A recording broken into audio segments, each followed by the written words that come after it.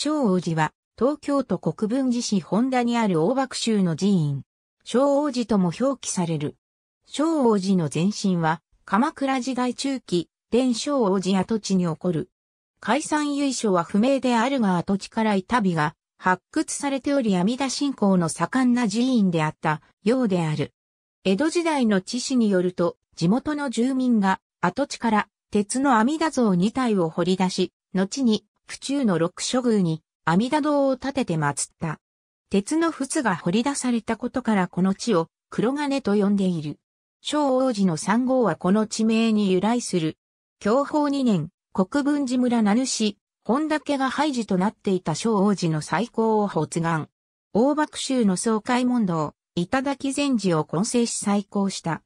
江戸幕府八代将軍、徳川吉宗の享保の改革に伴い、国分寺村名主、本田三左衛門の子、義右衛門と中衛門の兄弟によって、本田神殿が開拓される。